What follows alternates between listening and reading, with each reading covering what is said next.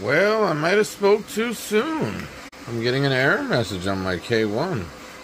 This is the fourth time this has done this. There it goes. Yep. That's the issue. They can't read it correctly. Sometimes it'll click it and get it right. Sometimes it see. It's all over the place.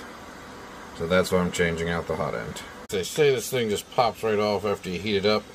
Notice I'm having a problem getting it out. Alright, finally got the doggone hot end out. Why all these marks are on there. This was not easy to get out. This is the one that gave me problems. Problem is apparently the thermostat has an issue with the connection inside. It's a known problem with them, so I just ordered a new one. Time to apply the boron nitride paste. Alright, we got the new nozzle installed. New hot end, sorry, not nozzle. It is a new nozzle on a new hot end. Let's turn her on. Have I fixed my problem? Ooh, she slowed down right towards the end. That's like she's supposed to. Yep. Fixed